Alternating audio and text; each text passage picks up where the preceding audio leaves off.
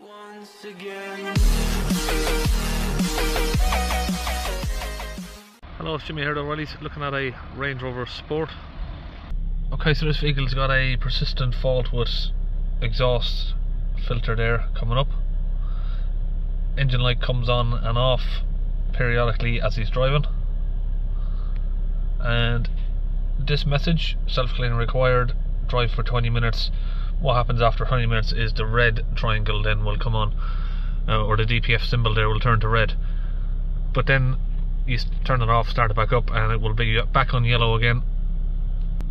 So the main point of this video I'm going to focus on is this code here: vehicle conditions incorrect for particle filter regeneration. Now, most cars, you know, they're they're not really, like to say, set up properly, uh, or they don't give you the correct message. What this is saying on here is to drive the car and it will clean itself, but that's not happening because we have that fault that we just showed there. See, while this fault is logged in the system, it's not going to regenerate. Even though the car is saying it will regenerate, if you take it on a drive, it won't because we have this fault here logged. And the reason for that code being here, that the vehicle conditions are incorrect, is because of this code turbocharger overboost condition. And it's a very common issue. I've showed it loads of times on my videos. But mainly, like I said, I want to concentrate on if you got these sort of codes.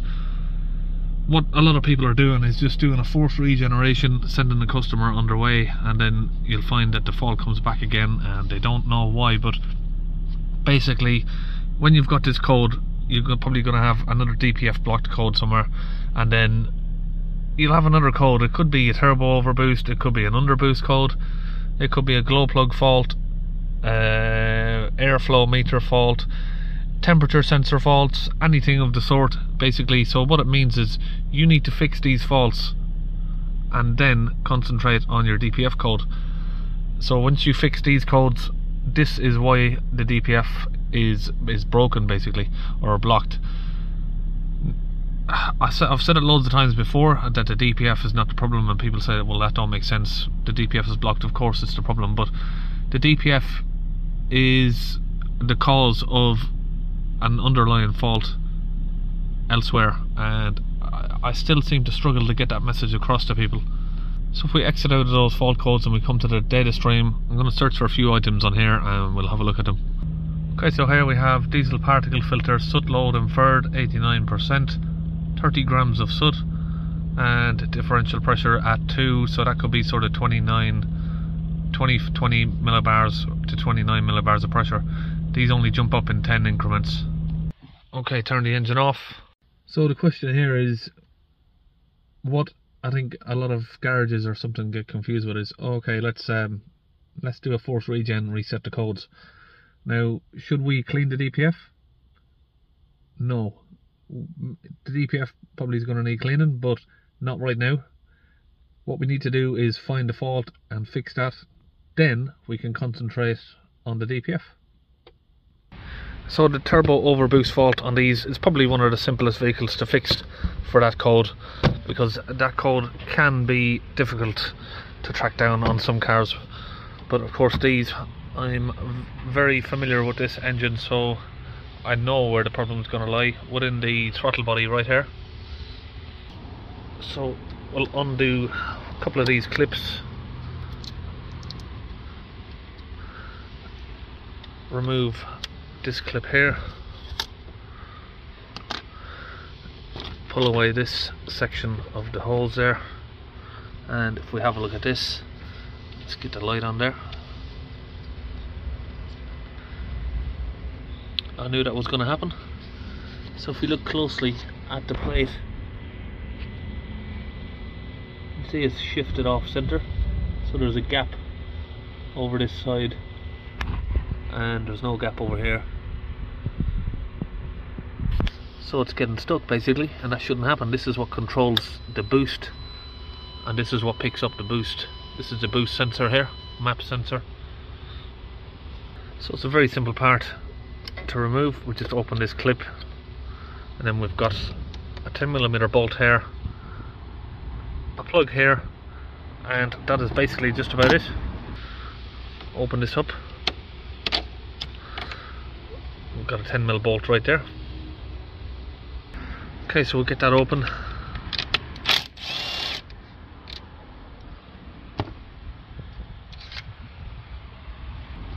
Now we just need to open out this clip here. Pull that apart. Remove the plug from the boost sensor. So squeeze the little tab and then pull it out. Another one on here. Might need a little clip to get down there behind that. Just pull it out. Okay, now we've got that and this one disconnected. We should be able to just give this a wiggle. So it's catching there. Sometimes they do catch onto that. So you got another little bolt here that you can remove just to let that have some flex. So just open that up. Just give it a wiggle there so it's loose.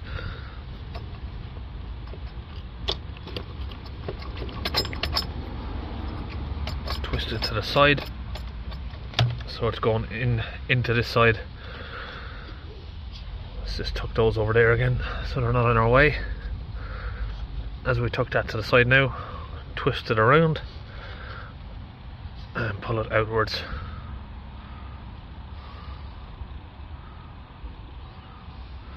That's all of the carbon soot that your EGR valve is chucking back in. What I would say is, on these vehicles, if this EGR valve was, this return pipe here was deleted, there is a blanking plate available for these. I think if you did blank that off, uh, of course if you do blank it off you'd have to have a, a remap done but if that was blanked off I don't think these problems would uh, keep occurring these throttle bodies here see it's a very simple job to do but these are about, about 500 pound each time and they are very common. I mean this is probably going to need replacing in another 20 to 40,000 miles again because of the heat I think that comes from this EGR valve. Not only the heat but also all of this that sticks everywhere. Uh, look over this side. Look at that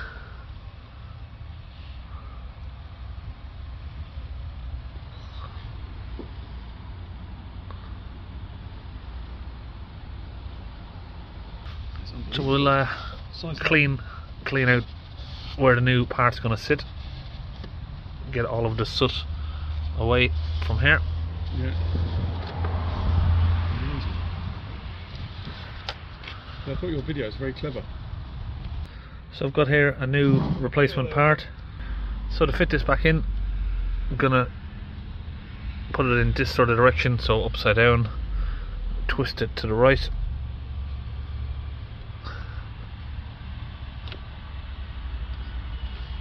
get that side in. Sit it down. Oh, I'm not sure if I included that as well. I did grease up the rings on each each side here. Just so it slides in nicely. And it was a bit like at the moment in, in that it flashes on and off before it flashes on and off. Yeah, so customers saying it's been to Land Rover and they said they couldn't find the problem. Um, I find that uh, amazing to be honest because it's if this is a TSB, it's it's logged as a regular problem. Uh, so customers here with me, he's just that's what he's just saying to me. He said he's, he's had it at Land Rover. They said they couldn't find an issue.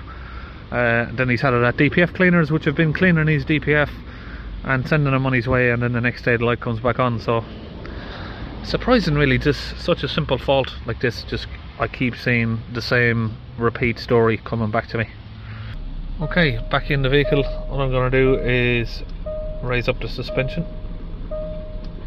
Just so it makes it a little bit easier on me to get underneath.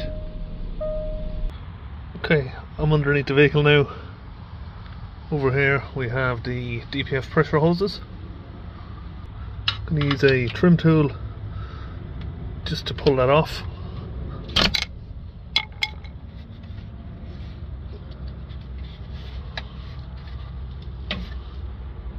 So with that out of the way, I can connect up my own piece of rubber hose here, which is a piece of fuel line. Okay, now I've got that connected under there.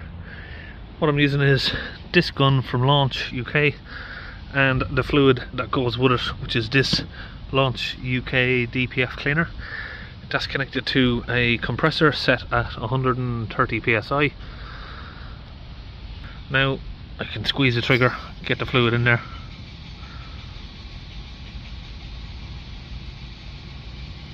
And what this does is it just saves me having to do a regeneration or driving the vehicle for up to an hour up and down the road to hopefully get the soot mass back down. But if we do it with this this is going to flush any of the soot out that is in there. Okay so the fluid's in. We are now back inside the vehicle. What I'm just going to do for now is just clear those. So we've still got the vehicle conditions incorrect um, what we're going to do is go to special functions common special function. So we're going to calibrate the throttle valve that we've fitted.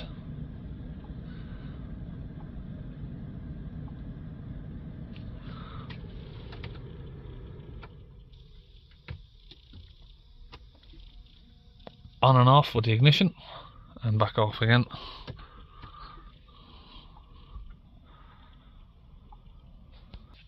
I'm going to go to exhaust emission diesel particle filter replacement. I'm going to tell her it's had one of those. If your DPF's overloaded as that message would say there it is very dangerous to do this so make sure your DPF is not overloaded before you do this. Let's turn the ignition on first. Because that's not going to work retry. Now we can clear the code again and then read it. Now that's gone see that code will not clear until you tell her it's had a new DPF so we're gonna sorry we need to go back there. We'll have a look at the live data now. Back here again. We'll start the vehicle up. Hold the revs up around 3000 rpm so we can see 16 is 160 millibars of pressure.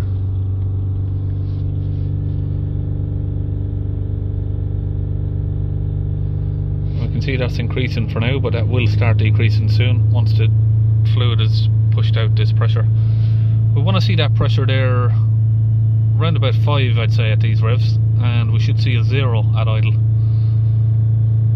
So these numbers here these have been reset to 0 when we tell her this had a new DPF okay we are now down to sort of 3 or 4 millibars. We can see now these numbers are dropping. We'll get a lot of ex exhaust steam as you can see may look like smoke but it is like a steam vapor from the fluid. So this is a 2017 63,000 mile on it. I'm going to take it for a test drive now.